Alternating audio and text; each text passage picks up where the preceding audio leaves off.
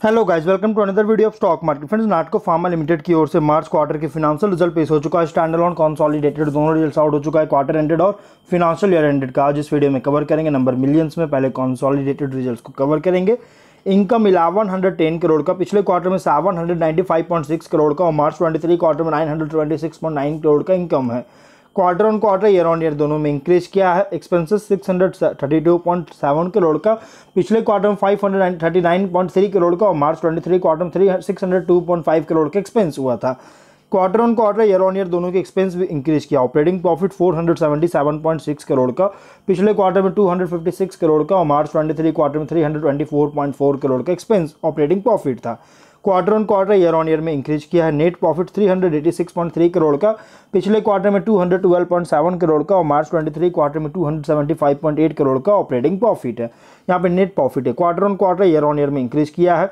EPS twenty one point five six rupees का quarter on quarter year on year में increase किया है।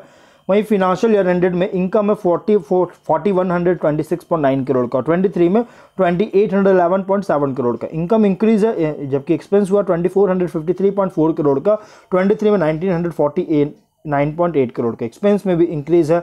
Operating profit 1673.5 crore का और 23 में 861.9 करोड़ का। इंक्रीज देखने को मिला और नेट प्रॉफिट 1388.3 करोड़ का और 23 में 715.3 करोड़ का।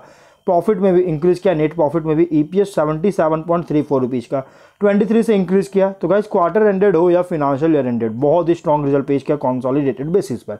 सेगमेंट वाइज फार्मास्यूटिकल्स एग्रोकेमिकल्स इन दोनों से रेवेन्यू जनरेट कर रहा है। क्वार्टर एंडेड हो या फिनेंशियल ईयर एंडेड इंक्रीज देखने को मिला है। अगर हम स्टैंड अलोन फिनेंशियल रिज़ल्ट को कवर करें इनकम है one thousand point seven crore का। पिछले क्वार्टर में six hundred fifty four point eight crore का। मार्च ट्वेंटी थ्री क्वार्टर में seven hundred ninety eight point seven crore का इनकम था।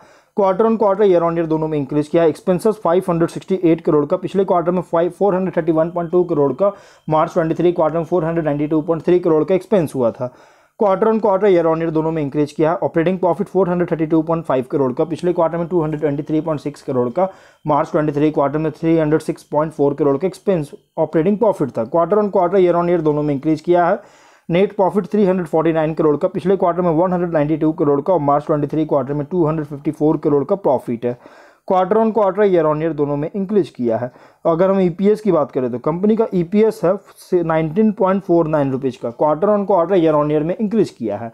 तो स्टैंड अलोन हो या कॉन्सॉलिडेटेड बहुत ही स्ट्रॉन्ग रिज़ल्ट पेश किया क्योंकि इनकम और प्रॉफिट दोनों इंक्रीज करता हुआ देखने को मिल रहा है।